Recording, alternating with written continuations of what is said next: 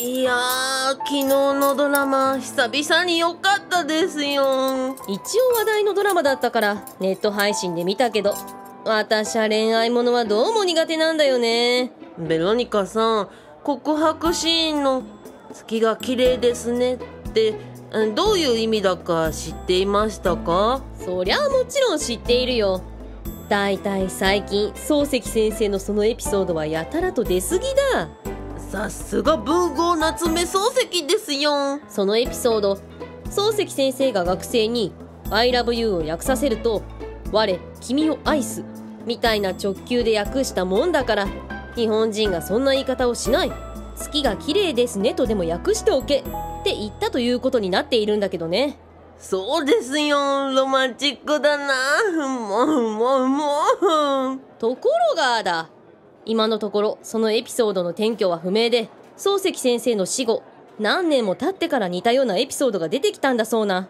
だからそのエピソードは創作の可能性が高いってことだ。な何ですと？当時の記録やノートが出てこない限りそれは都市伝説的なエピソードなんじゃないかなと私も思っているけどね。おのれ漱石のじじいめ測ったなおいおい漱石先生はあのヒゲのイメージの肖像があるからすんごい老人だと思っているかもしれないけどお亡くなりになったのは49歳の時だぞ。うんげ。そそんな若さでですか？それであんなに多くの名作を残すとは異次元の大天才だったんだな。うんわかるでしょお前こそわかるでしょ？だ。あららすいません。まあエピソードが創作であったとしても漱石先生ならそんな場面ではそれに似たようなことあるいはもっと素敵な役をしたんじゃないのかな。僕の中では最高に素敵なまさに言わなくてもわかるでしょというような I love you の表現だったんですけどね。私は役ではないけどシンプルに君のためなら死ねる。場合岩清水が好きだな。あ三四郎の方じゃないぞ。え？え三四郎にそんなの出てきましたっけ？え？あバカ。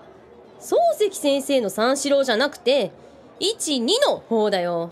でその12の三四郎じゃなくて愛と誠の岩清水だよ。た確かに紛らわしいな。実際私もいろんなファンの死ねるリストに書かれているそうだしな前期三部作の三四郎のことじゃないんですか？一体何のことやら？わかる人にはわかるんだよ。後でウェブで調べろ。はい。あでもベロニカさんは話を聞いていると漱石のことがすごく好きなんだなと感じましたけど。そりゃあ好きだよ。多分短編も含めて全て読破しているぞ未完の大作「明暗」なんて続編は別の作家が書いているんだけどそれも読んだしな。関連書物も随分読んだよ。ただ漱石先生クラスになると私なんかファンとしてはまだまだなんだよ。ペイペイだ。うんキャッシュレスの PayPay じゃないぞ。上には上がいる。すごすぐる。すごすぐる。すごすぐる。僕も主だったものは読んでいますよ。草枕なんか好きなのね。出だしがかっこいいのね。文章とか小説は私にはいいものを書くのは無理だったが冒頭さえかっこいいのが浮かべば最後までスラスラ書けるんじゃないかとさえ思ったもんだ。それに日本の古典はどれも出だしがかっちょいいんだよな。日本の古典は本当に素晴らしいのね。えよく僕も講演会で引用していますよ。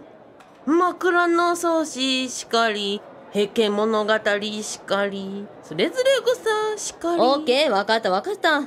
あそうだ。草枕といえば熊本に草枕の道ってのが確かあったぞ。へえ暇を見つけてみんなで行ってみましょうよ。いいね。しかし作家の頭の中というか脳みそというか思考回路は一体どうなっているんですかね。明らかに僕の脳みその構造とは違うのね。そりゃそうだ。それに知識があっても小説は書けないぞ。高学歴の批評家だって批評をするだけで熱烈な読書やマニアには批評の分野でも勝てないだろうよ。